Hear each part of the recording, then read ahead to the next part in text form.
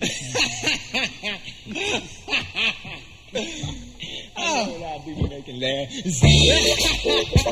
there.